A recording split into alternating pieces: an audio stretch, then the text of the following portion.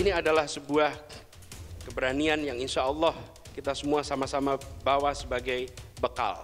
Karena itu kita berharap ke depannya insya Allah koalisi ini makin solid, makin kuat. Kita hargai yang memutuskan untuk tidak berada dalam koalisi perubahan. Kita hormati itu. Sambil kita yang mengatakan bahwa kita bergerak di sini bukan soal bagi-bagi. Kita bergerak di sini soal bagaimana Indonesia lebih baik.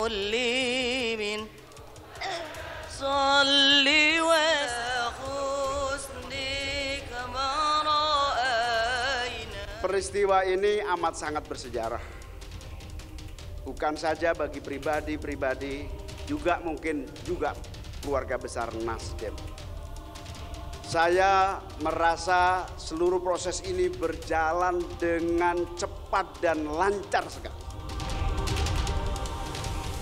Kok jadi begini?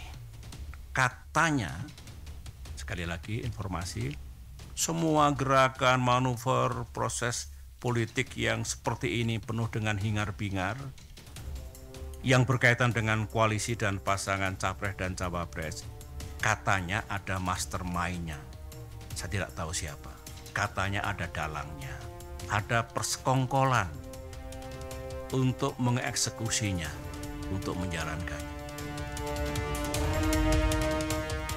Semoga kita semua bisa memaafkan, walaupun tidak begitu saja melupakan. Kita harus segera move on.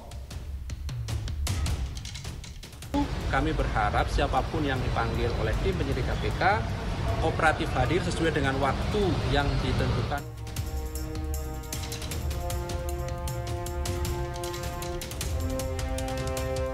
Pada musyawarah Majelis Suro yang ke-8, PKS telah menetapkan Bapak Anies Rashid Baswedan sebagai baca pres yang diusung oleh PKS.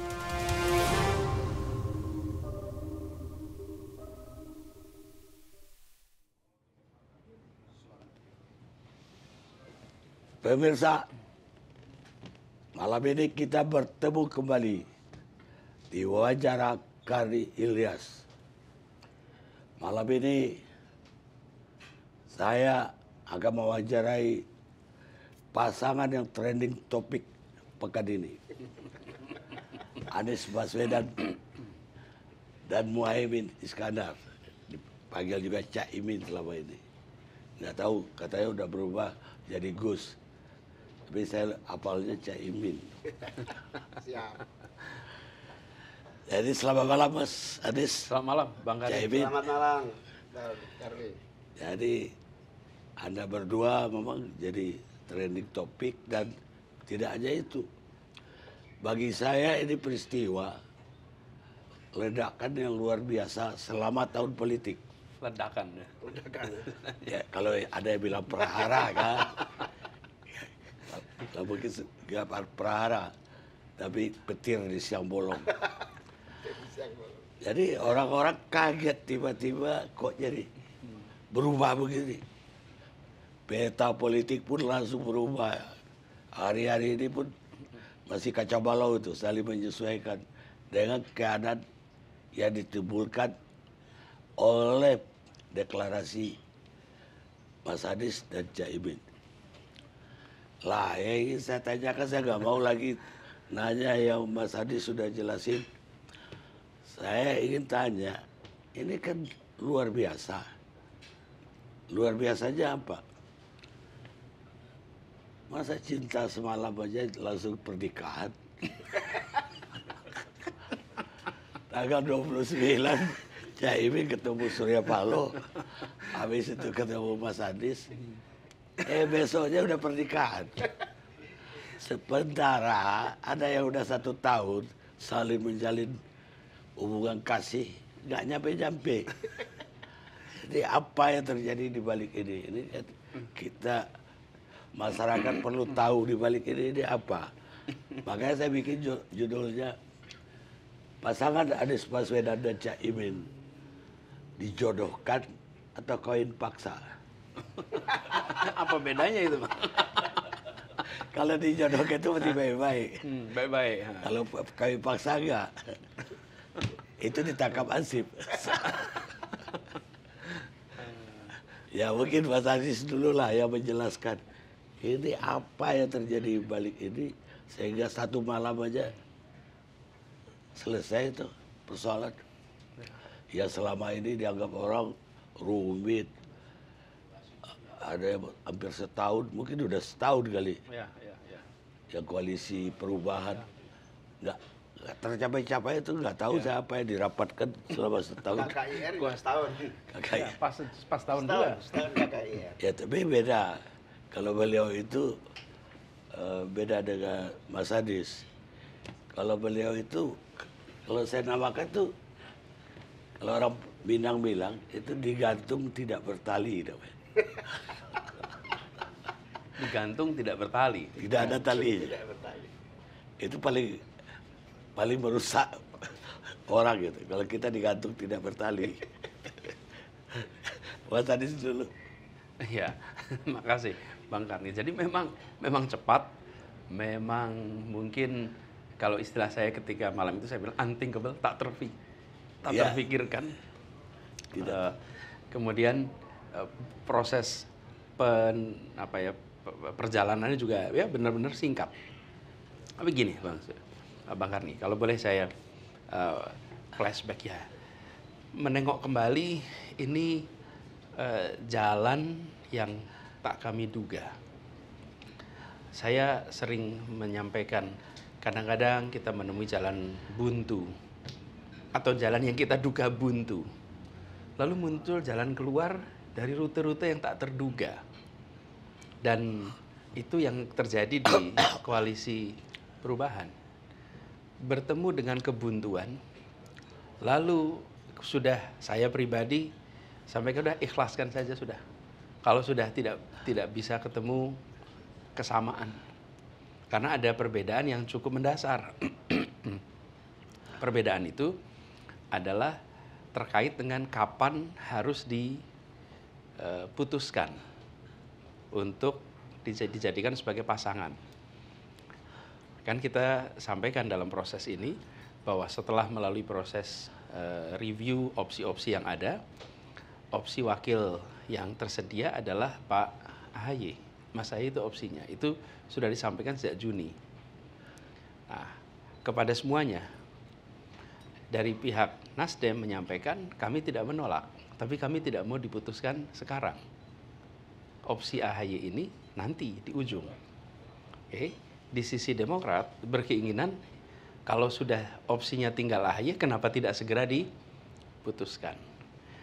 PKS berpandangan lebih awal lebih baik, tapi tidak memberikan harus kapan. Nah, pada tanggal 25 September hari Jumat, pertemuan di Cikeas, Pak SBY menyampaikan bahwa eh, sebelum tanggal 3 sudah deklarasi. Dan itu yang kemudian eh, proses eh, pembicaraan menjadi punya deadline. Kalau sebelumnya kan tidak ada tidak ada deadline, ada pembicaraan masih jalan terus yang tadi Bang Karni bilang terus gitu, masih coba bicara bicara Ya bicara. itu ya heran saya. Hampir ya setahun lah, mungkin lebih kali. Itu apa ya yang dirudikan tuh? Camp David aja nggak sampai berapa hari udah Nah, selesai. karena itu Bang makanya saya, saya teruskan sedikit Bang.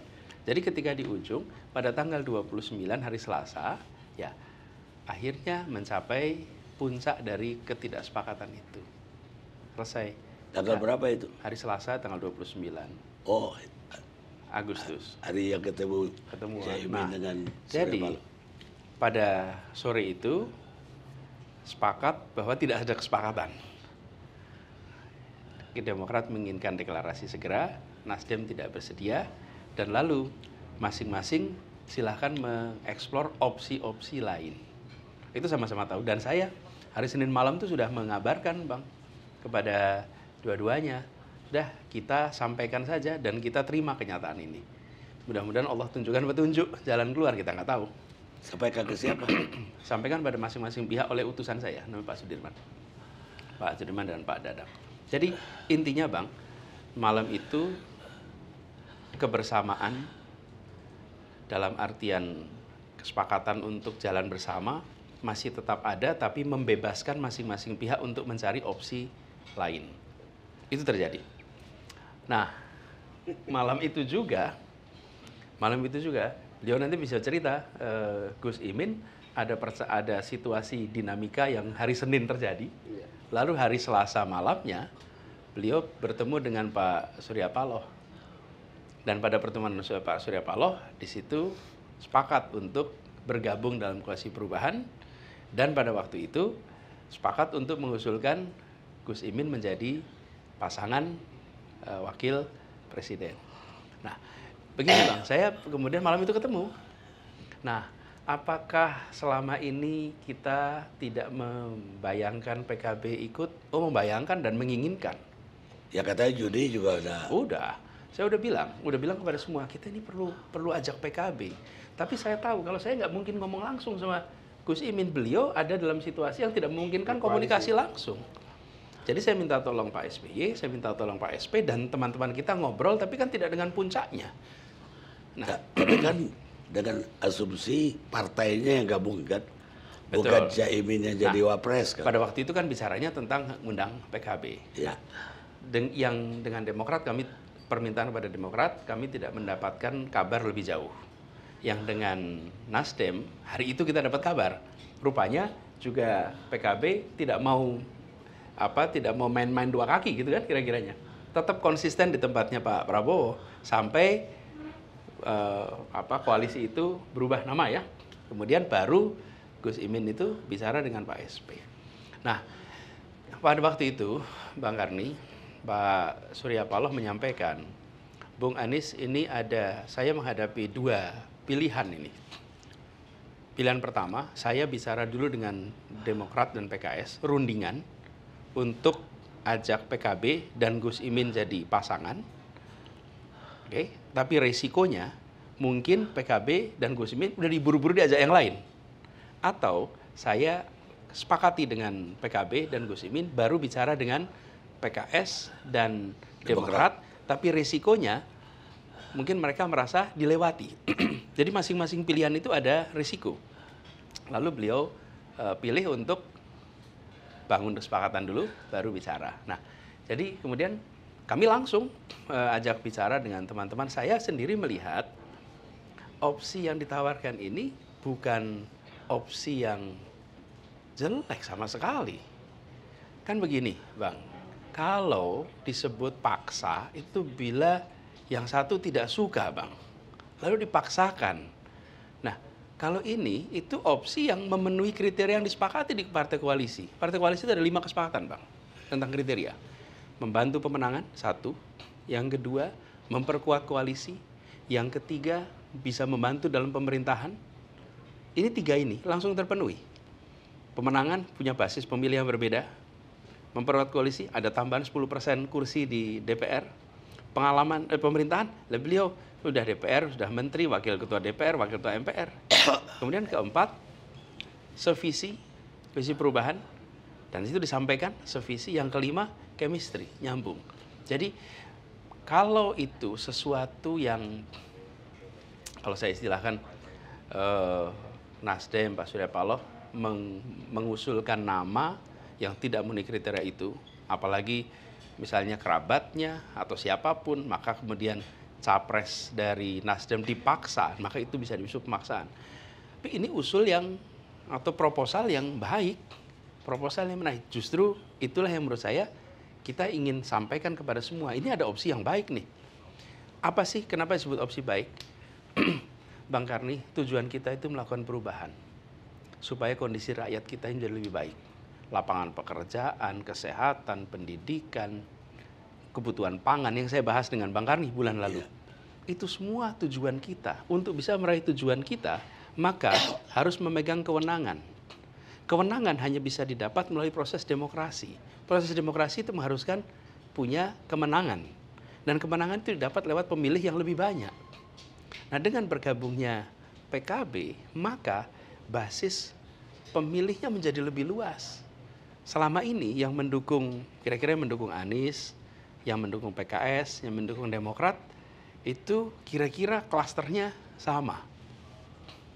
Oke, kemudian ada dukungan tambahan dari PKB, maka usaha untuk melakukan perubahan itu mengalami perluasan basis. Jadi bukan sesuatu yang tidak bisa dijelaskan. Kalaupun proposal ini datangnya dari PKS, proposal ini datangnya dari yang lain, ini proposal yang baik. Jadi saya melihat ketika ada proses istilah tadi itu kawinnya cepat, itu bukan berarti ada pemaksaan, tapi ada kecocokan, ada kesesuaian tujuan, kesesuaian misi dan lain-lain. Itu kira-kira bang. Ya tidak, tidak ada kawin paksa ternyata, tapi dijodohkan. Buktinya bukan langsung ketemu kan, nah. tapi Surya Paloh ketemu dulu dengan Caimin Habis itu sebetulnya bukan kawin paksa. Enggak, enggak paksa. Tapi, tapi anu ada cinta yang terpendam. Wah, kira-kira begitu. Ternyata sampai gitu. Jadi nyari. Loh, kan saya udah bilang, Bang, sejak bulan Juni kalau bisa kita ajak PKB. Kan itu ajak kan PKB cinta, kan cinta loh. Imin, agak Gus Imin. Ya, itu lebih strategis saja. Tidak orang yang dia tunjuk PKB. Jadi belum cinta itu. Baru strategi perjuangan. Tapi kembali lagi ke yang tadi. Ada lima kriteria tadi kan. Uh, yang Mas Adis bilang. Berarti AE ada kriteria gak terpenuhi dong. Kenapa nggak disetujui juga selama setahun oleh Nasdem dan dalam hal ini juga Mas Adis sebagai calon presidennya. Ya, uh, Nasdem ini dari kacamata Nasdem, Nasdem yeah. melihat masih mungkin ada opsi-opsi lain. Tapi pada waktu itu Nasdem juga tidak bisa menjawab mana opsinya, belum ada. Karena itu Nasdem merasa kenapa harus buru-buru? Tunggu. Jadi Bang, kalau dikatakan bahwa Nasdem menolak eh, AHY tidak. Nasdem tidak menolak, tapi tidak mau dideklarasikan segera. Demokrat, bila dikatakan Demokrat memaksakan AHY juga tidak. Coba Demokrat meminta dideklarasikan segera. Tapi kalau dideklarasikan segera, ya artinya AHY. Walaupun tidak dikatakan harus AHY. Kalau dideklarasikan segera, ya opsinya tinggal AHY. Kalau dideklarasikan nanti, opsinya ada yang lain. Nah, tapi itu bang, ketidak kalau saja bang, tidak ada pertemuan pertemuan di eh, hari Selasa di mana tim 8 deadlock maka ini adalah pertemuan saya dengan Gus Imin, kemudian eh, percakapan antara Pak Surya Paloh dengan Gus Imin itu seperti menyimpang dari koalisi. koalisi. Tapi sudah terjadi deadlock, Bang. Dan masing-masing sudah memberikan ruang silahkan mencari opsi-opsi yang lain. Jadi sebenarnya itu yang terjadi. Nah, tantangannya begini kira-kira. Pertolongan datang itu kan pada waktu itu udah pasrah, berarti kendaraan tidak ada bang. Kemudian ada jalan baru, cuman jalan baru itu selisihnya jam bang. Biasanya jalan, jalan, ya, tega orang menduga Jangan-jangan sebelum deadlock udah ada perundingan-perundingan nah, nanti beliau di belakang layar di dalamnya.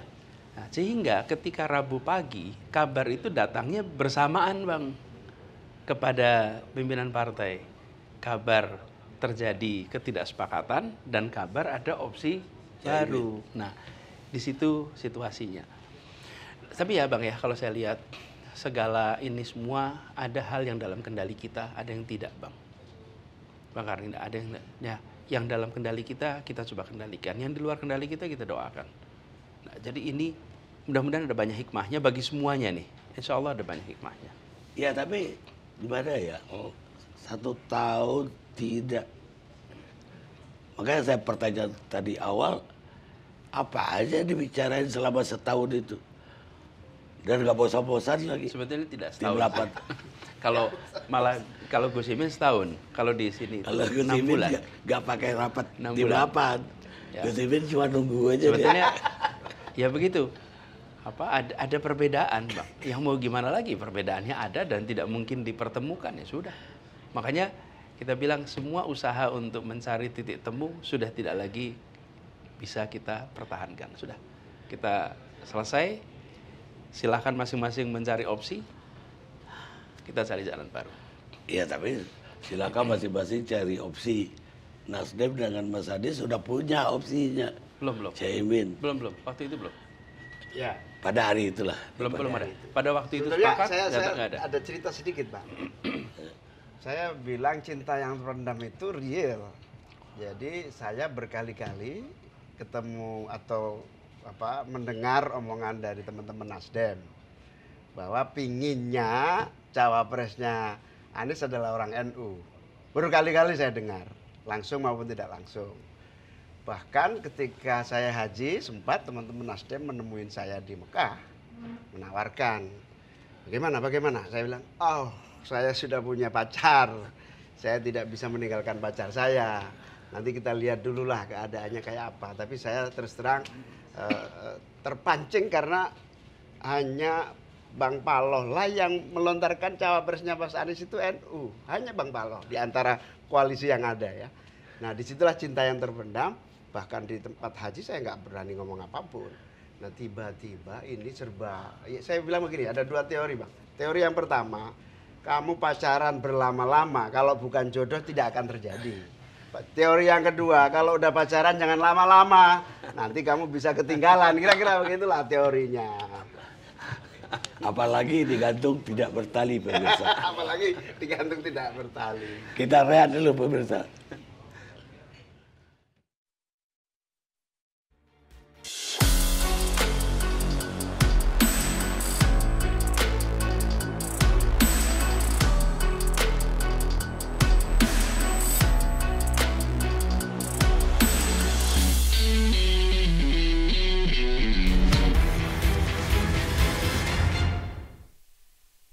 Nah sekarang saja tidak sidik, tidak amanah, tidak memegang komitmennya bagaimana nanti kalau menjadi pemimpin dengan kekuasaan yang besar.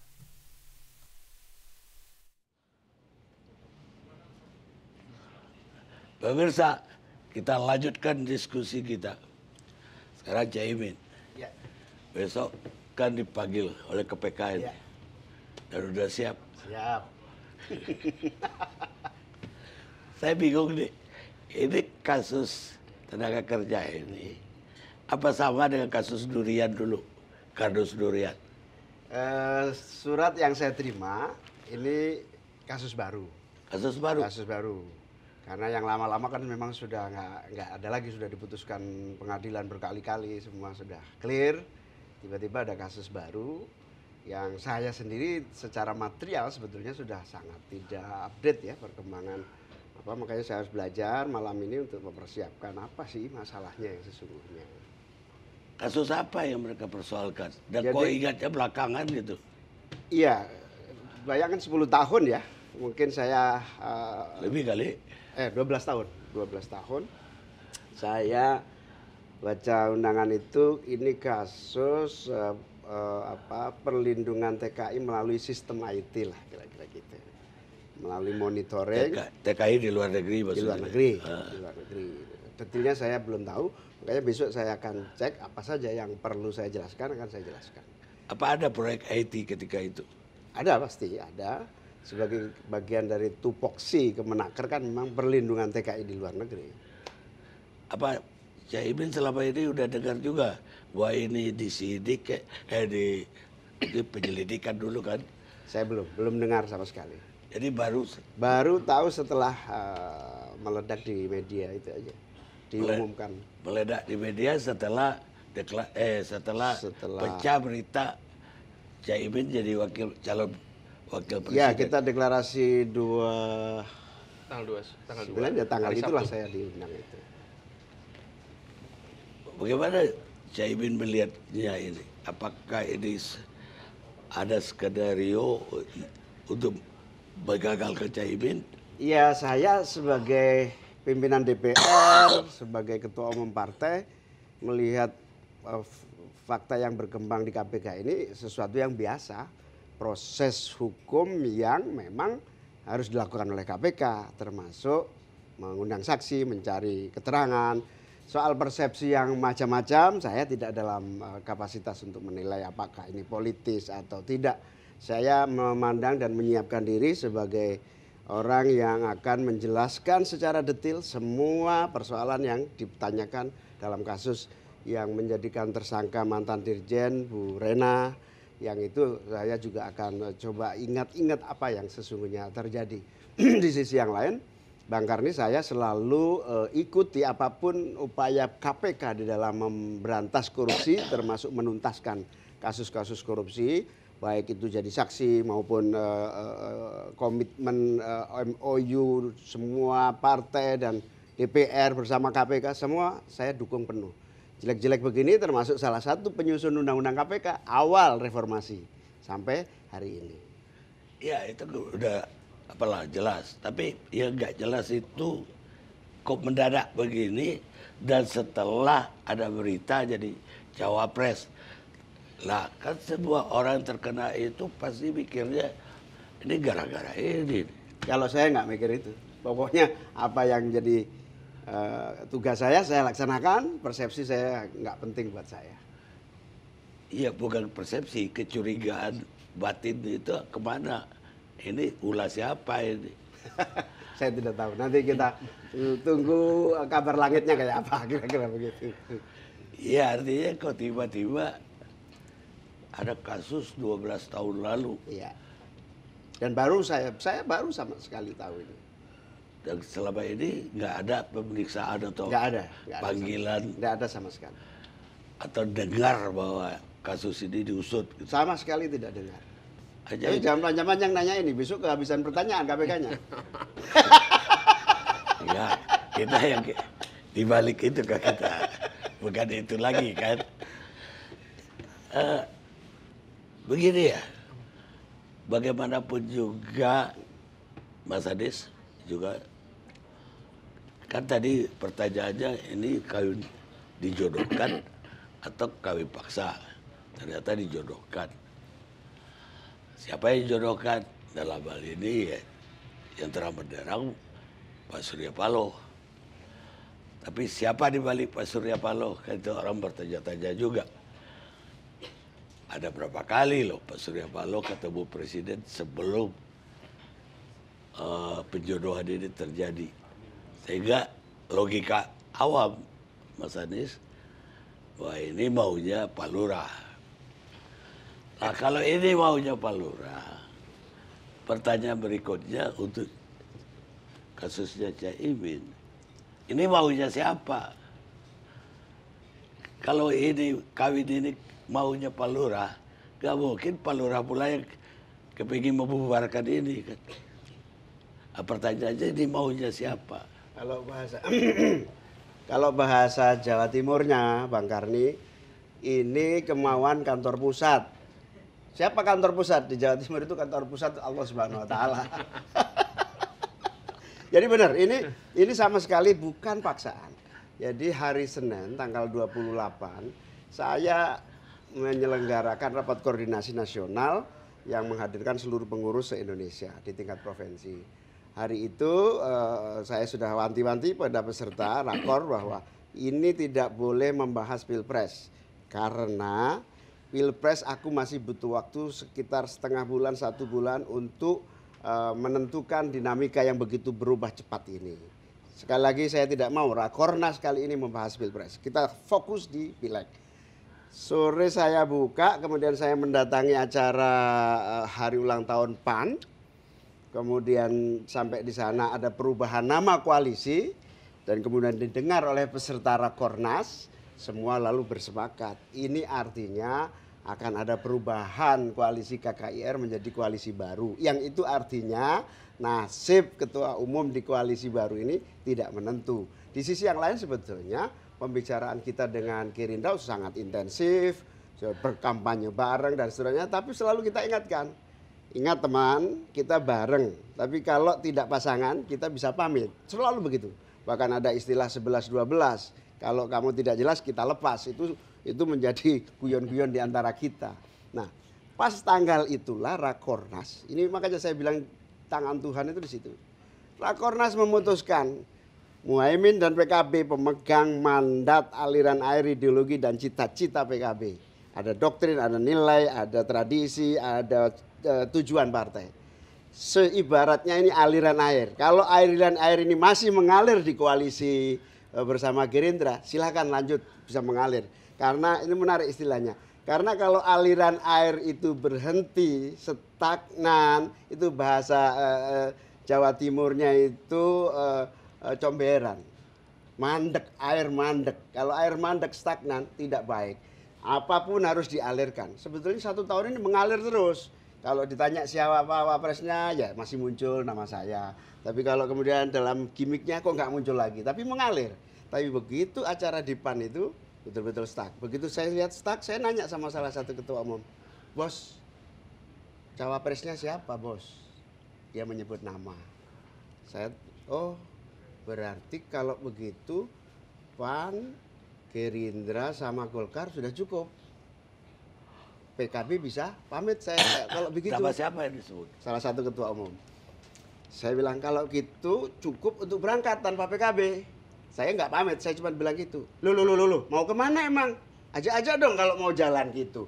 Nah itu kemudian saya balik ke kantor DPP rapat dan lanjutkan sudah sudah panas gitu ya dengan suasana dan memutuskan segera cari aliran di mana pun sehingga aliran ideologi cita-cita ini mengalir. Eh 29 pagi saya dihubungi staf saya Bang Surya ngajak makan malam. Awalnya saya agak takut-takut ketemu Bang Surya. Kenapa? Huh? Ya ketahuan Pak Prabowo bisa dicoret dari daftar. Akhirnya diajak makan, ya mari ini aliran air barangkali gitu kan. Saya terima makan malam dengan Bang Surya di satu tempat. Di situ diskusi panjang lebar, eh, eh, panjang lah tidak eh, salah satunya adalah ini apa tawaran model segala macam. Akhirnya ya sepakat di situ. Meskipun saya minta waktu Bang Surya, nanti kasih waktu tiga hari karena di tempat saya tidak seperti di Bang Surya. Bang Surya banyak eh, tokoh-tokoh tapi Bang Surya sentral tokoh paling senior. Nah kalau saya masih lebih banyak lagi yang senior-senior kiai kiai ulama dan seterusnya. Beri waktu saya tiga hari. Saya minta waktu tiga hari dan akhirnya clear semua salaman. Sebelum saya oke saya ketemu Mas Anies empat mata seluruh eh, penyamaan persepsi terjadi. Sip tanggal 2 29 ya kita tanda tangan. Gerindra eh, eh, Gerindra Su- sudah terlalu ingat Gerindra. Nasdem dengan PKB tanda tangan dua- 29 eh, eh, pagi. Jadi Bang, Bang Hadi kalau saya nerusin ini, bayangkan Bang, ini dua dua peristiwa. Eh, sebentar saya sedikit Bang Sanis, Oh, ya. biar saya tidak disalahkan teman-teman Demokrat. Saya tanya kepada Bang Surya, Bang, katanya sudah mau sama AHY. Enggak, kita belum punya cawapres. Dia bilang begitu. Kamu maunya apa? Ya kalau saya maunya capres. Ya nggak usah banyak omong. Kita punya capres, kamu punya cawapres. Gabung. Gitu. Jadi saya nggak tahu apa yang terjadi di koalisi. Tapi kesimpulannya Ya. koalisi dua partai ini urusan saya Bang Surya, tapi koalisi partai yang lain akan eh, tergantung Bang Anies. Ya, nah, jadi kan apa yang terjadi di dalam koalisinya Gus Imin itu terjadi dinamika independen, nggak ada kaitannya dengan yang terjadi Iya, di dalam sama sekali nggak ada per- kaitannya. koalisi perubahan. Jadi kira-kiranya saya sering sampaikan menjelang weekend dan sampai dengan hari Selasa puncaknya itu terjadi ketidaksepakatan. Di sini juga terjadi dinamika sehingga tidak bersama lagi. Kita tidak tahu kalau raker apa ra- rakor ya, rakor itu hari Senin. Kita sama sekali tidak menjadi biasa. Sekarang kita tahu. Jadi itu Bang yang saya sebut bahwa apa ya? Tadi kalau istilahnya kantor pusat. Ini kan bagaimana yang mengatur ini satu orang itu? Ini bukan diatur satu orang. Ini terjadi peristiwa-peristiwa yang kemudian ketika kita tengok lagi ke belakang itu seperti saling pas gitu. Dan jadilah eh, apa yang sekarang kita lihat. Dan itulah yang disebut jodoh, Bang. Dan itu disebut takdirnya begitu kira-kiranya.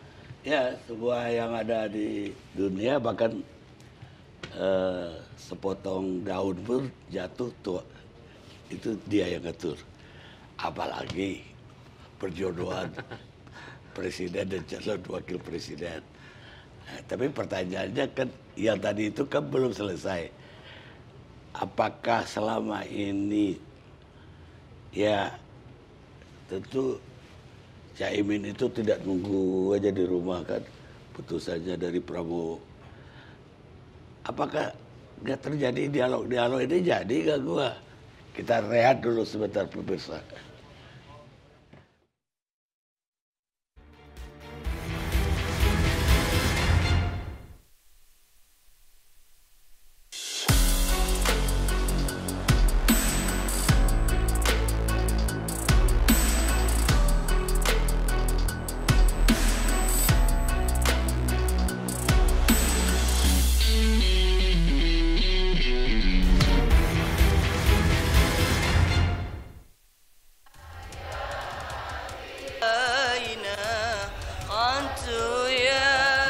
Keputusan itu pakai kriteria, Pak, supaya predictable, yaitu tak bermasalah.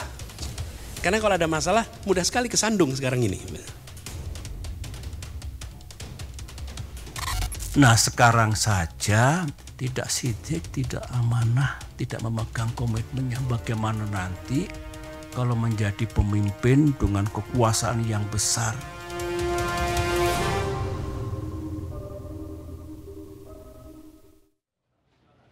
Pemirsa, kita lanjutkan wawancara kita. Jadi tadi pertanyaannya tergantung. Karena udah lebih dari setahun pula mendampingin Prabowo. Kampanye bang, di mana-mana setahun. Makanya.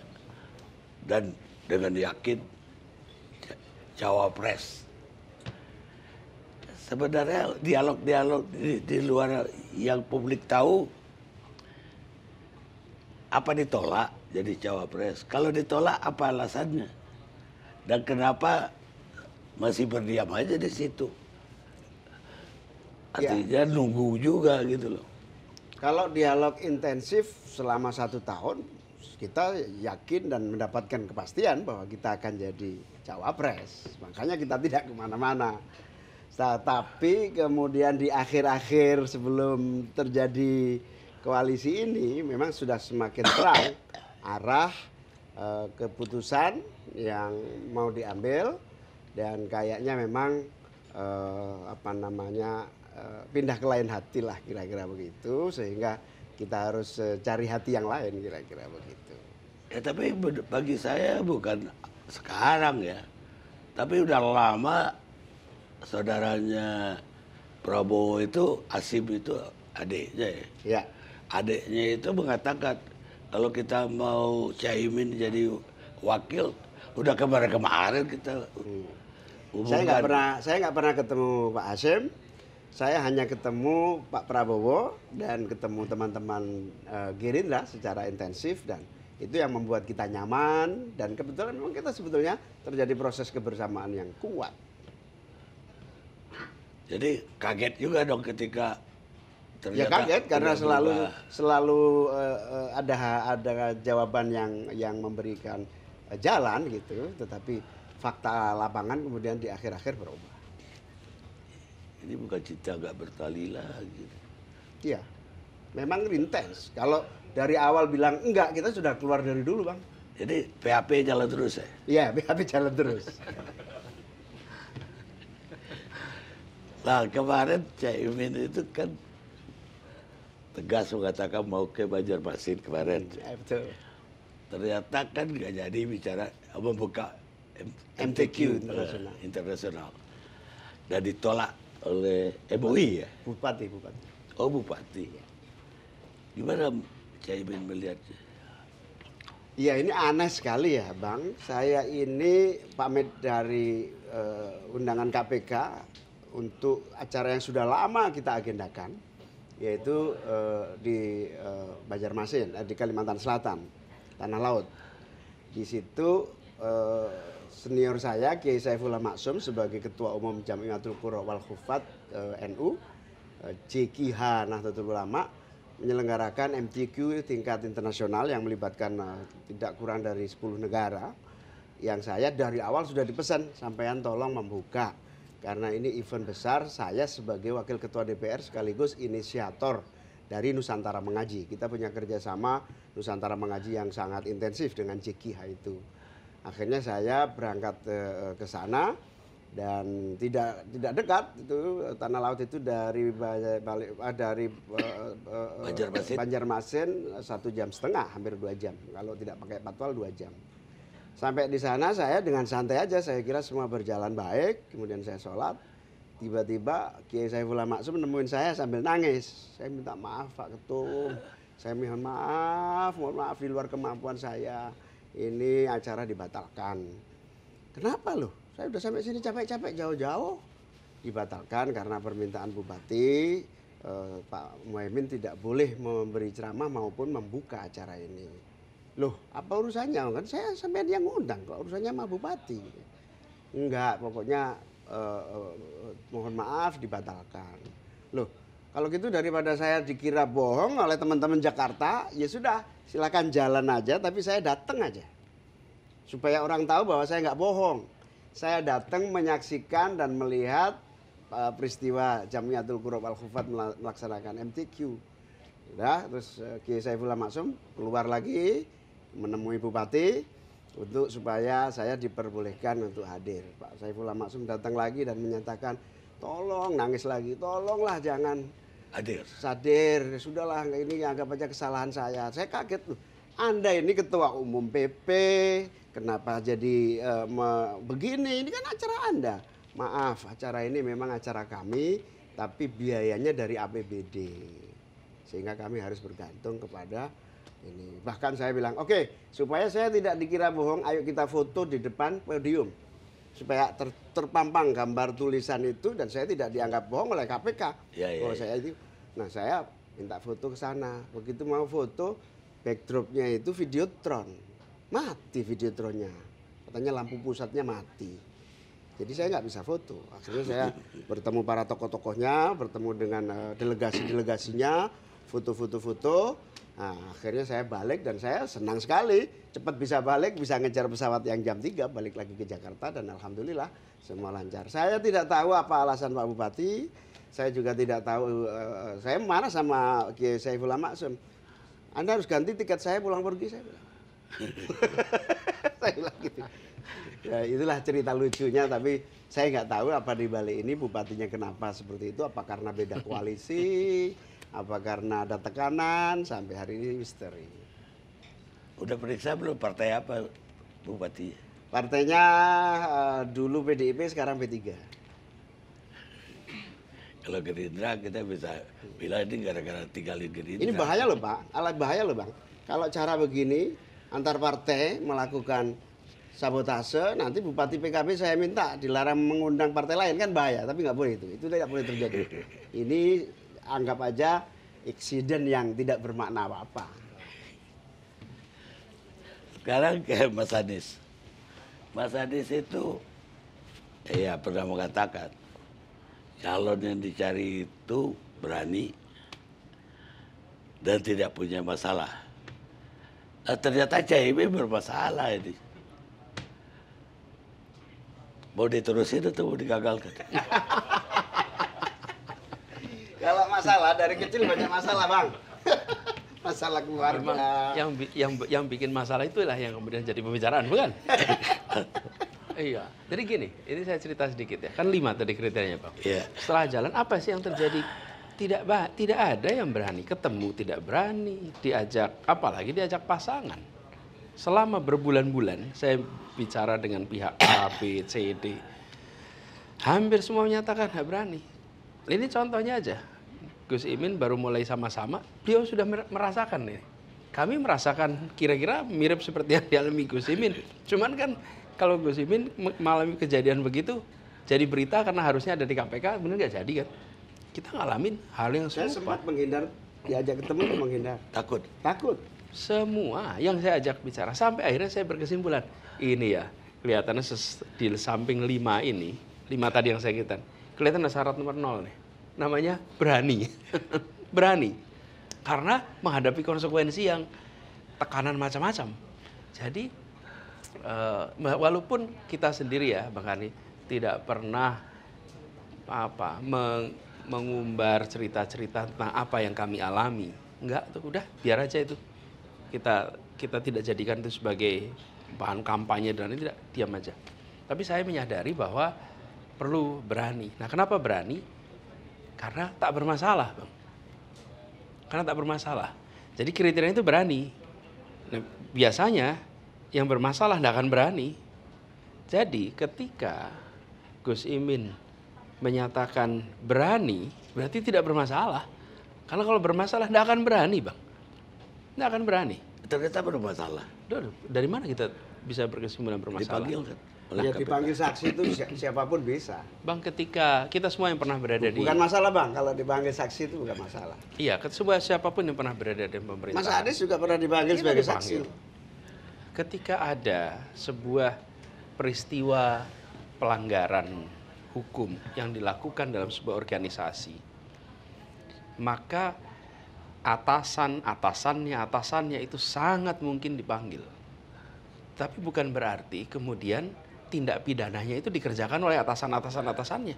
Lebih bisa-bisa semua atasan ditahan ini hari ini kalau bawahannya melakukan tindak pidana. Jadi saya berkeyakinan dan insya Allah nanti terbukti bahwa beliau berani untuk mengambil rute ini kan rute yang beliau sendiri tahu ini banyak ada resikonya kenapa ya karena tidak bermasalah dan insya Allah kita hadapi bang apa Gus Muhaimin akan lewati ini semua dan insya Allah nanti berjalan baik. Sebelumnya Caimin itu ketemu aja takut. Takut karena saya punya komitmen dengan pacar lama Pak Prabowo. Nanti kalau saya ketemu Pak Anies bisa jadi Pak Prabowo tersinggung marah. Padahal eh, kita punya komitmen kebersamaan yang tinggi. Di sisi yang lain Pak Anies ini kan memang eh, apa namanya sebetulnya sudah sangat kenal saya dengan beliau sangat sangat dekat dari zaman mahasiswa sehingga nggak ketemu pun saya bisa lihat dia, lihat bagaimana dan kayak apa. Mas Anies ini sebetulnya bukan sesuatu yang baru. Sejak mahasiswa tetangga fakultas, sejak aktif melawan Orde Baru sama-sama bergerak, Mas Anies HMI, saya PMI, semua berjalan yang saya kira tidak ada sekat ya sebetulnya kecuali karena saya terikat pacar saya yang namanya Pak Prabowo gitu aja. Ya, jadi takutnya hanya terhadap itu. Ya. Bukan terhadap panggilan KPK atau dimusuhi oleh pemerintah. Ada takutnya begitu? Ya tentu khawatir menyinggung eh, senior-senior yang tidak suka saya eh, ke mana-mana selain ke Pak Prabowo. Ya bukan senior yang gak suka Caimin, senior yang gak suka Mas Anies begitu loh. Jadi baru jangan-jangan baru beraninya gara-gara udah dapat garansi dari Surya Paloh. Oh enggak, ini aliran mengalir aja bang. Ini benar-benar yang saya sebut eh, jalan Tuhan itu bukan ngomong lip service.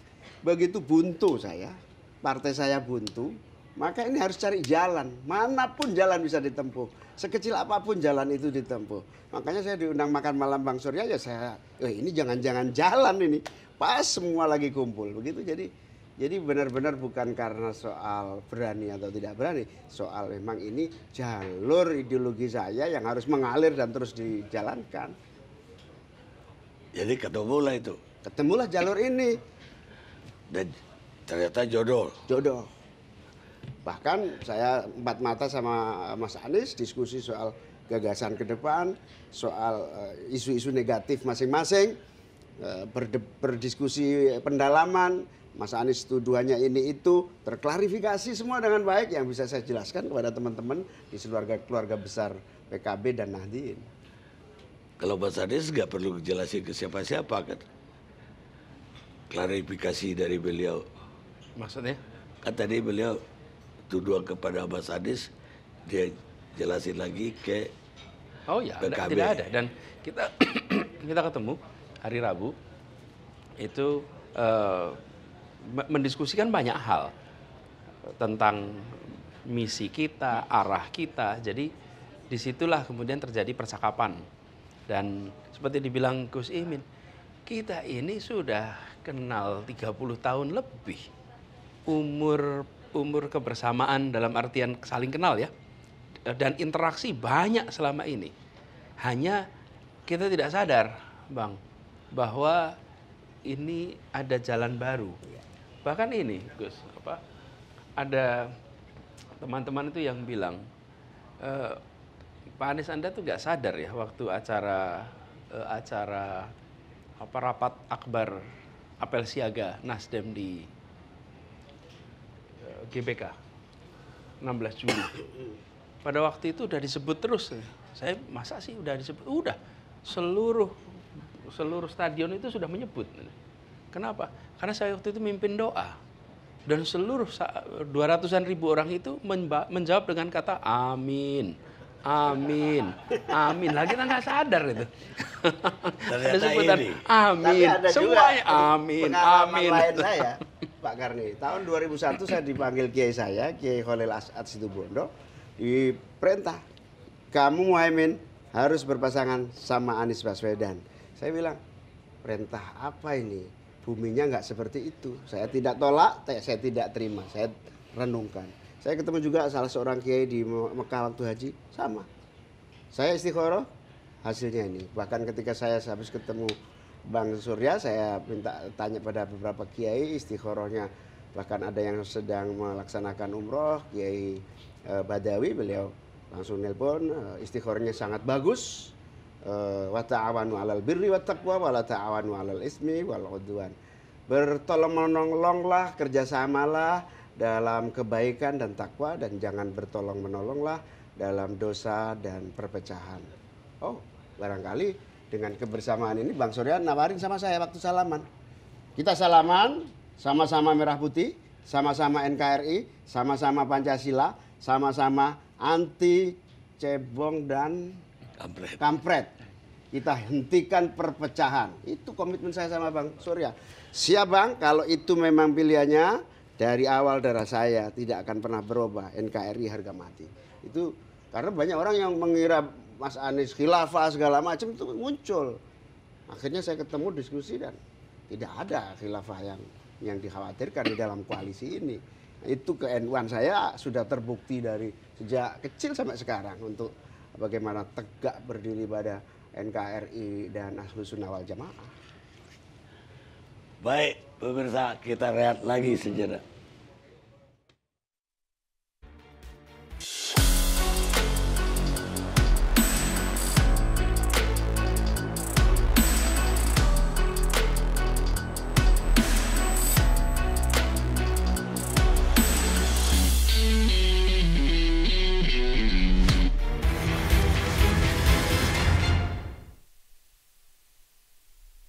Kalau soal sikap sudah saya sebutkan berulang kali, saya bisa tegaskan sekali lagi di sini bahwa tidak ada calon atas nama NU.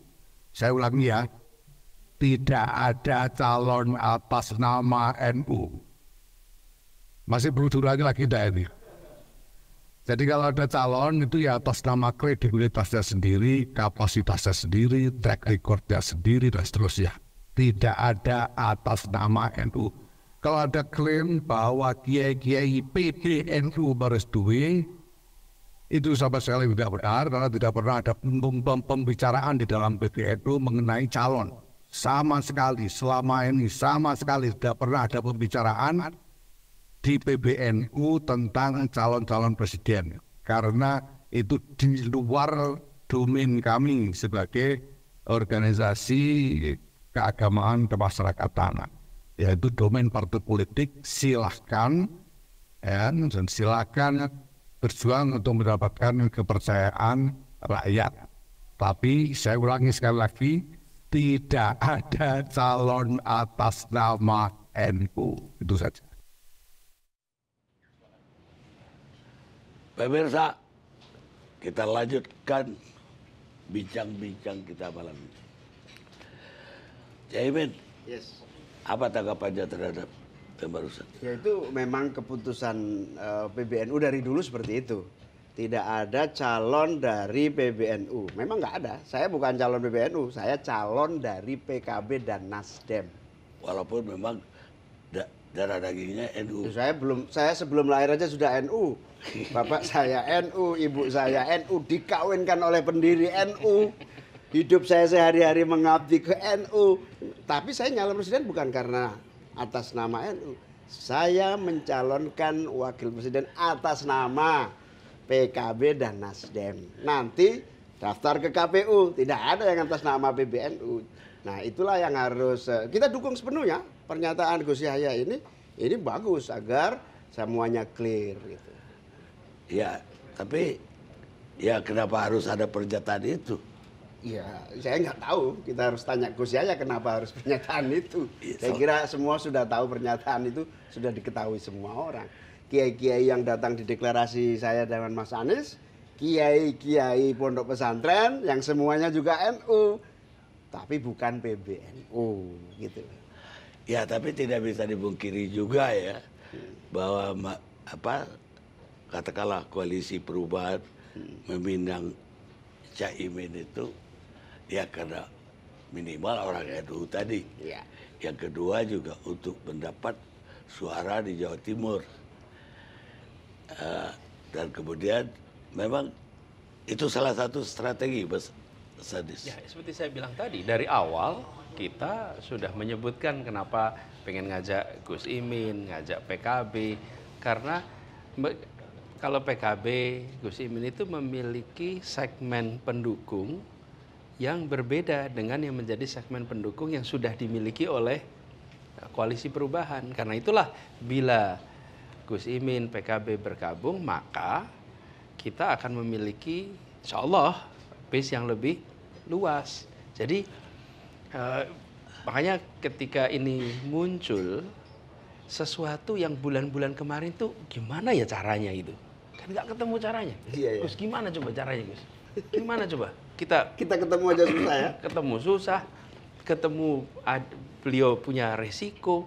Jadi eh, tidak terbayangkan eh, Bang Karni. Jadi begitu ditawarin sama Bang Surya, saya langsung tidak terlalu sulit menerima karena saya tahu persis I know well who is he. iya, dan semua apa cerita-cerita yang diproduksi tentang apa eh, kami dan lain-lain opini image sudah itu dijelaskan semua. udah jelaskan dan kalau kalau Gus Imin sudah tahu gitu. Jadi beliau itu gimana ya ngerti betul tentang apa yang kami kerjakan, apa yang saya kerjakan dan anak buah beliau di Jakarta itu dapat perintah langsung dari Gus Imin. Namanya Hasbiullah, ketua Iya. DPW.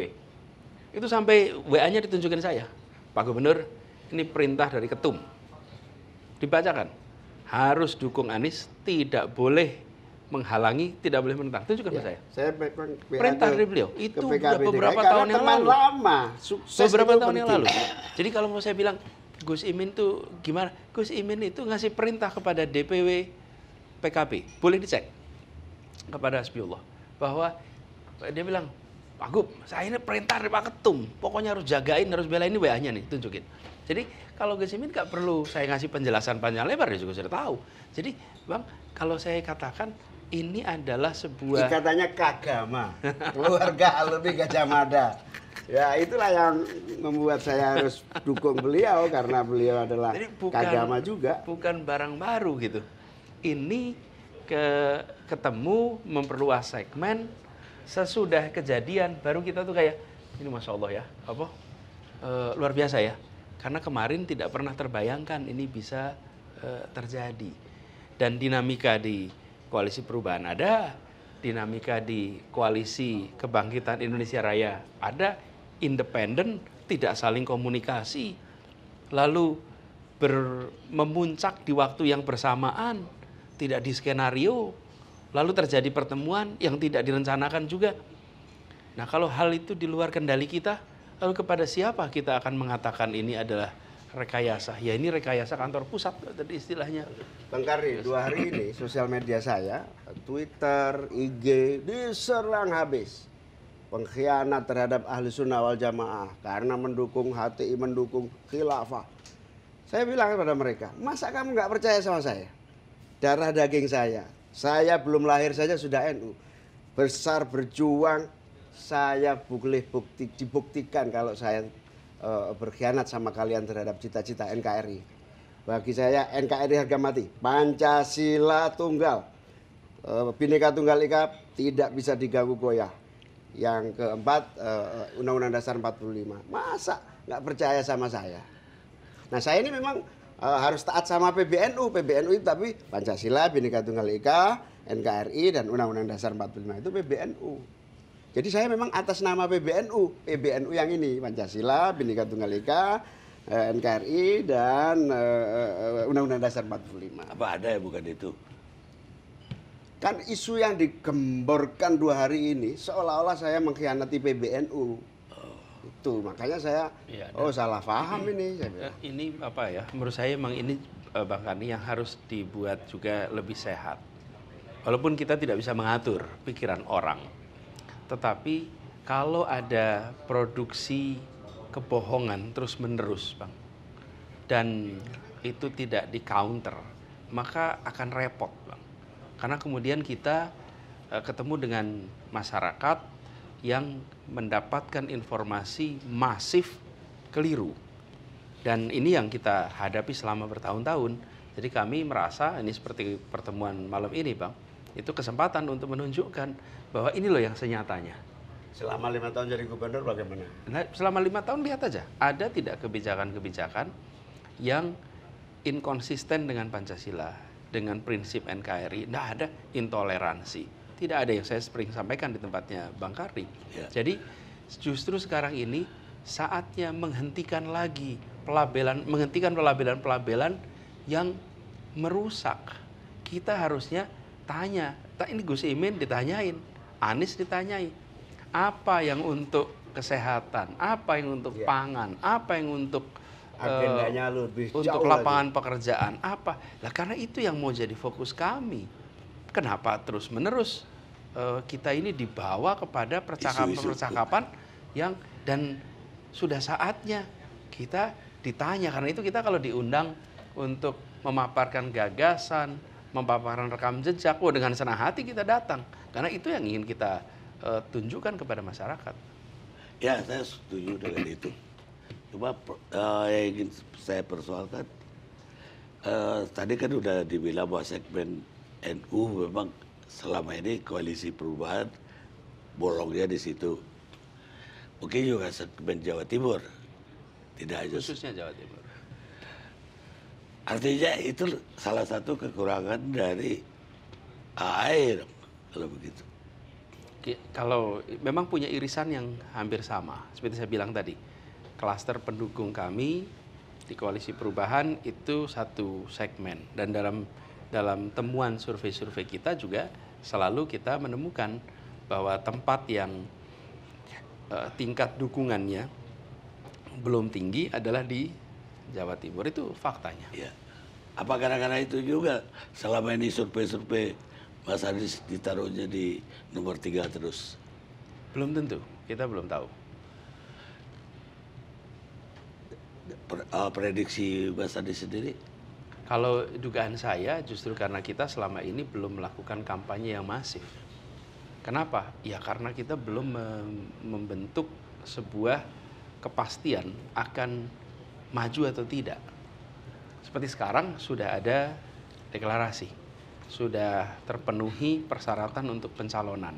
Itu mengirimkan pesan yang berbeda, Bang, dibandingkan dengan ketika kemarin masih jadi pertanyaan. Dan masih banyak orang yang berkesimpulan kelihatannya belum bisa sepakat nih di soal nomor dua. Itu kan selalu menjadi eh, bayang-bayang selama ini. Ya bukan nampaknya memang nggak satu tahun itu nggak sepakat-sepakat gitu. Makanya saya bilang tadi lebih cepat sepakat di Camp David antara Israel sama Palestina. Dengan kepastian ini saya kira akan eh, memiliki dampak kecepatan ya. Mas Insya. Tapi kalau lihat histori tadi ya, sama-sama kagama, bukan kagama aja, aktivis, orde baru segala macam. Jangan-jangan dia suruh undang sama Surya Paloh supaya Caimin diajak makan malam, Mas Adis. Pemirsa, kita lihat sejenak.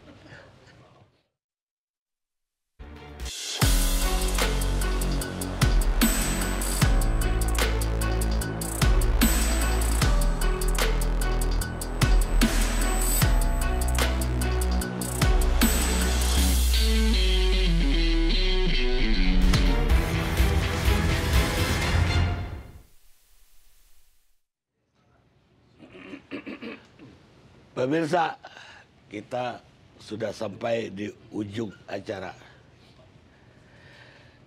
Ini yang tersisa ya, bahwa Prabowo misalnya mengatakan nanti Caimin itu balik lagi ke kita, misalnya. Terus di lain pihak juga pertanyaannya untuk Mas Anies. Bisa juga ya sebaliknya. AAE balik lagi ke koalisi perubahan. Kalau ini terjadi gimana? Mas Anies dulu, Mas Ya, dulu. kalau kita rasanya udah final, Bang. Ini insya Allah kita siap untuk jalan ke depan bersama-sama dan ini ada niat baik ada proses yang cepat, tetapi juga ada rasa rasa bersyukur bahwa ini semua kita tengok depan. Dan kami tidak pernah membayangkan bahwa koalisi perubahan itu akan ada yang berkurang. Kita menghormati pilihan yang diambil oleh Partai Demokrat. Tapi itu bukan sesuatu yang kami harapkan. Kami berharap bisa terus bersama-sama. Jadi kita lihat ke depan. Mudah-mudahan kita terus bisa sama-sama. Tapi kalau kita, insya Allah kita akan jalan terus. Dan kemarin juga prosesnya cepat, itu ada hikmahnya juga. Bang. Jadi bagi kita-kita semua itu kemudian sudah mulai berpikir tentang langkah-langkah untuk proses pemenangan. Tidak lagi bicara tentang mau apa yang dikerjakan. Jadi kira-kira gini, kalau udah ada rumah itu segera nih nata kursinya, nata mejanya, nata tempat tidurnya, nata dapurnya itu sekarang biasa dikerjakan. Kan udah jelas nih, kakaknya udah jelas, rumahnya udah jelas gitu. Ibaratnya ibaratnya ini kita tanggal 29 September Agustus yang lalu nikah siri bang. Nah kita tinggal datang ke KUA nunggu KUA buka masih masih tutup ini KUA ini sudah nikah siri. Ya susah kita bisa kalau nikah siri bercerai dulu. Prosesnya sangat panjang. Tapi terus terang bang saya dan teman-teman PKB ini memutuskan dengan proses yang sangat akurat dan cepat ada dinamika yang luar biasa ada komunikasi internal yang intensif bahkan keputusan terakhir sempat saya tidak ingin ikut-ikut subjektif dalam memutuskan. Silakan kalian putuskan bersama semua stakeholders. Saya nunggu hasilnya saja. Jadi ini keputusan yang tidak ada uh, kaitannya dengan konstelasi politik atau apa pun. Jadi memang jodoh yang dinikahkan secara siri ini tinggal nunggu KTP Mas Anies, KTP saya, KUA ini. Nah, tinggal nunggu KUA-nya namanya KPU. KPU. Nah, pertanyaan tadi itu. Ke Prabowo udah ngomong, gua nanti juga balik. Bagaimana kalau janda lama itu minta balik? Itu ke persoalan. Ya sudah nikah gimana? Sudah nikah suruh cerai ya susah, Pak. Itu boleh poligami. Makanya kalau punya pacar jangan disia-siakan, terus kawin nyesel deh. Tapi kan boleh poligami. Hah? Boleh poligami. Poligami dalam hal koalisi tidak diizinkan. ya kepada yang sudah punya pacar, jaga baik-baik, jangan sampai di hari pernikahan beda jodohnya gitu lah kira-kira. Hatinya pindah lagi, balik lagi. Kalau Mas Anies sudah ada lihat. Iya, sudah. Dan ini kan tinggal sekarang ini prosesnya. Kalau sebagai proses koalisi bersama, eh, koalisi perubahan itu eh, kemarin PKB, Nasdem sudah masing-masing secara internal sudah membuat keputusan. PKS kemarin menyampaikan bahwa mereka harus menjalankan ADART-nya.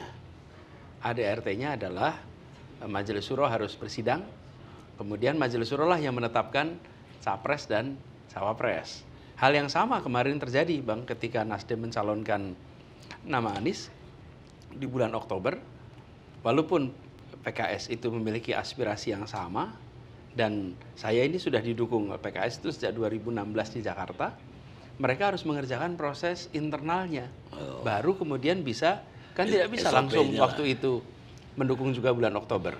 Mereka sesudah sidang Dewan Suro, baru kemudian menetapkan dan sebagai koalisi sudah sama-sama. Tapi menetapkan calon presiden itu harus melalui proses internal di Majelis Suro dan itu yang sedang dikerjakan. Jadi eh, nama eh, Gus Imin sekarang sedang dalam proses, di internal PKS. Apa eh, rencana yang udah disusun? Kan ini udah gabung antara PKB dan koalisi pembaruan. Planning untuk ke depan apa? Begini, PKB sebagai sebuah partai punya visi, punya misi, punya program. Dan kemarin juga ketika berada di dalam koalisi eh, kebangkitan Indonesia Raya sudah menyampaikan hal ABCD. Lalu kami juga di koalisi perubahan, kami sudah menyatakan ABCDE. Jadi ini sekarang kita akan sinkronkan itu supaya sama. Tapi visinya adalah visi kita ingin perubahan. Perubahan itu bukan perubahan nama presiden, tapi perubahan bahwa kebijakan-kebijakan kita ke depan itu mengedepankan aspek keadilan yang pernah saya jelaskan Iya. di tempatnya Bang Karni. Nah inilah kemudian nanti kita berharap ke depan yang menjadi misi itu disinkronkan, kemudian kita bentuk tim kerjanya, oh, Bismillah kita akan jalan. Siang ini tadi jam 2 eh, DPP PKB merapat ke DPP Nasdem memulai sinkronisasi program target tujuan amanat yang harus diemban pasangan ini. Salah satunya adalah percepatan penanganan eh, masalah-masalah kebangsaan yang harus diatasi eh, pengangguran, kemiskinan, kemudian eh, apa namanya iklim yang yang yang itu menjadi prioritas dan banyak prioritas nanti akan disinkronkan. Tapi udah ada rundingan apa? Baru antar- mulai tadi siang saya pimpin sebentar dua partai, lalu saya tinggal ke sini. Ya mudah-mudahan satu apa satu koalisi yang mengisi sebuah segmen-segmen yang ada. Walaupun tadi dibilang bahwa